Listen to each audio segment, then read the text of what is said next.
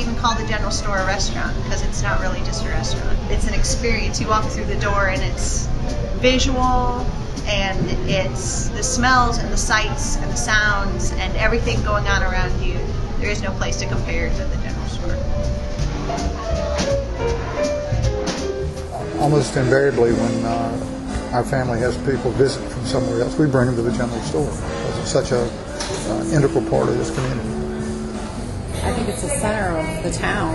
I noticed that right away when I moved here that this was really a happening spot and everything kind of centers around this, this, this restaurant. The store changes depending on when you come in. You know, you come in for breakfast, it's kind of a laid back hometown little place.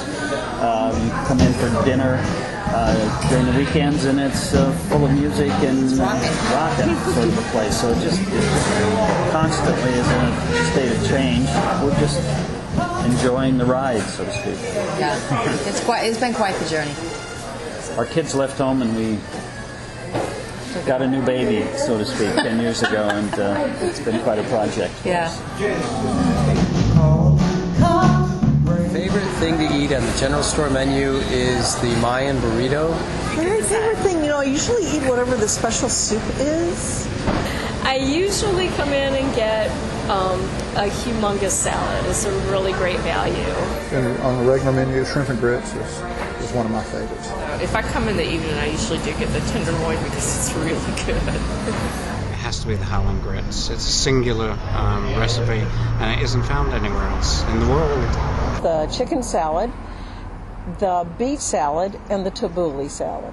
The Mayan burrito has to be my favorite. Oh, and the Billy salad. You know, I was a vegetarian. I came from a really small town where I couldn't find anything to eat. And then I found this place, and I was like, oh, there's so much for me here. Everything is good, and I hate it because, like, when I want to get something to eat, I can't decide what I want because everything's so good. I love everything, especially our desserts because Amy makes everything she's ever made. I love our desserts. I can eat desserts every day. She makes this sour cream apple pie with walnut topping.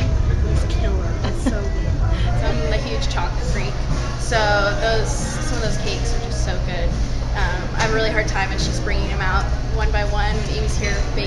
We have our own pastry chef, and she's quite good. And of course, I've got to sample those quite regularly, which, which is a tough part of my job.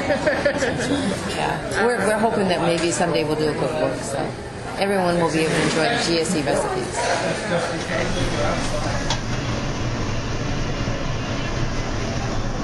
I see some of the farmers that bring bring in the produce and stuff, and that's always really cool. And the bakers right here across the street that um, bring the bread, so that's that's pretty awesome. Like it's real food.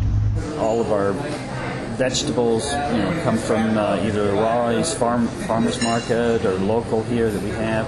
So we, we just try to purchase everything as we possibly can, as close to what we can. Now, out of season, sometimes we have to purchase things, but we focus on organic as much as possible.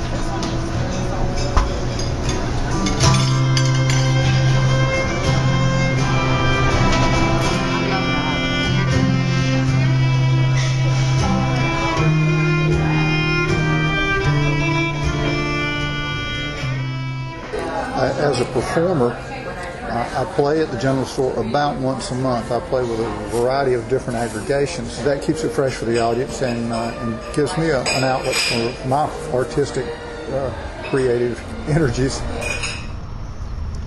Well, for me, being able to garden uh, in a very small way in public is wonderful because I love to talk to people about the plants as I work.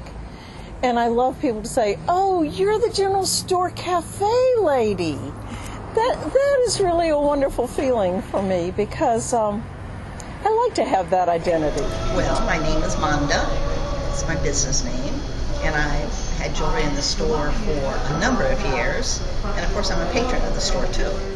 This was one of the first places I was able to be encouraged to bring my art and to sell it.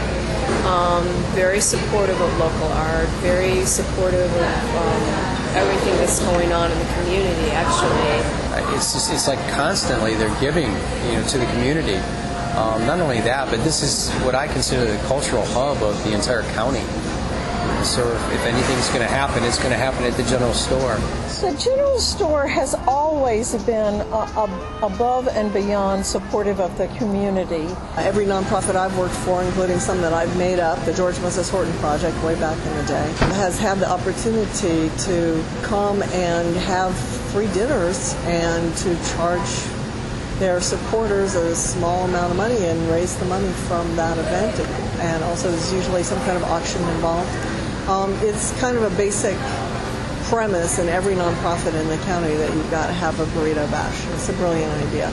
You just feel like you're a part of something, like a part of something bigger than just yourself when you're here. It, in, in so many ways, it's, it's like going into my living room. And we're just totally relaxed here, and, and we're always amongst friends. I get to know people here. This is the place where people really sit down and have conversation. I came in depressed and not hungry. Had a great Australian Pinot Noir and a terrific Portobello veg- vegetarian burger and left feeling much better. A great place to turn your mood around. That's cool. Table 305 at the General Store Cafe has a secret little drawer in it. And what we found were all these notes that all the customers left us. And we didn't notice for a long time, but there are a lot of napkins in here with notes on them. They brought the crane in today to work on the courthouse. Cloudy, warm, nice to be here at the GSC with my sis from California. Fall is here. The air is clear. The leaves are falling down. Hot soup, cold beer. My stomach cheers. Thank goodness the General Store Cafe is here. And that's what's great about the General Store Cafe is that even the customers are like our family. So we're all just one big happy Pittsboro GSC family. This is like my home away from home. When I'm not at home, I'm here. And even when I'm not at work, I mean, I spend days off here just because I love the people. I love whenever I come to the general store, I'm happy. There's always a lot of happiness here. Everybody is really, really cool. Um, whether it's customers or employees. And everybody cares about what everybody else is doing and how they're doing and what's going on. And we try to we try to let that bleed over it into the customer too. It's there's nobody here who I don't care about, truly care about. I think it's a really important place we would be much poorer without it.